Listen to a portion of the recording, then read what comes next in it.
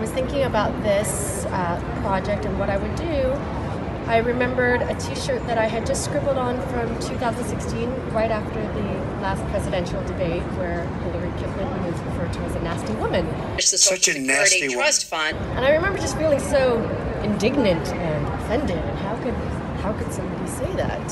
So anyway, I thought, oh, I have a T-shirt. I'll just write it on there. And then I felt empowered by it, that I was embracing it. So I think that that represented to me a moment in time where I felt like we can make a difference with our voice and in a positive way. And I'm a weaver and I use textiles, so I thought, well, what if I can weave that T-shirt into it? And so I just took different things, different T-shirts that I've had, and tried to incorporate things that are representative of our voices now as females. And I invite others to, if you want to jot something, just to weave it in there. Again, it was improvising, and what artists and what we as women do best is we problem solve and we improvise.